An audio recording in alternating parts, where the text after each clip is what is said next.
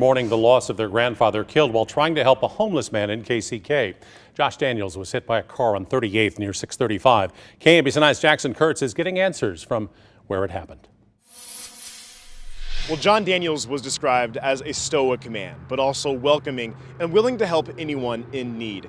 His death was tragic, but many are remembering him for what he did in his life. JT Daniels says his grandfather, Johnny Daniels, lived by Christ. Do right by other people, do it right by yourself, do the best you can do. On Sunday, Daniels stopped his car to help a homeless man on the busy 38th Street under the bridge at I 635.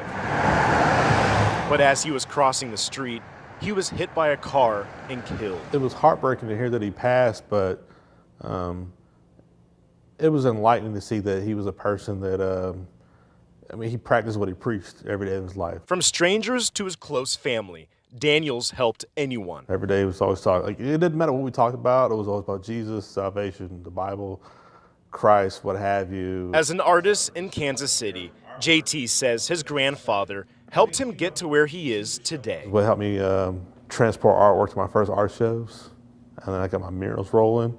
And they would just tell me, you know, keep your head up, do what you got to do. He stood by uh, what he, he taught us to do. Uh, and he was like, lead by example, not just by what you say. And I feel like he died by example as well.